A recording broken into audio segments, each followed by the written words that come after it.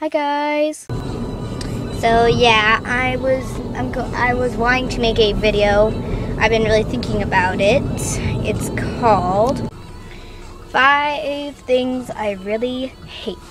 And before we start this, I'm going to be telling you that um, Buster is going to be posting the pictures on the screen. Hi!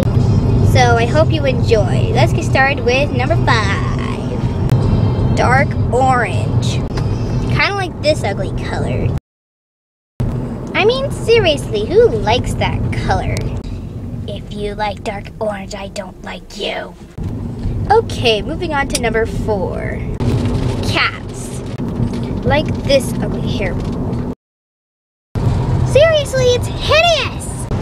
Number three, the Super Mario Brothers show. I couldn't post show you guys that picture of the Mario Brothers because we're having some technical difficulties over there. Sorry! Emolga. She's ugly and a big baby. Now, the moment you've all been waiting for. Pause for dramatic effect.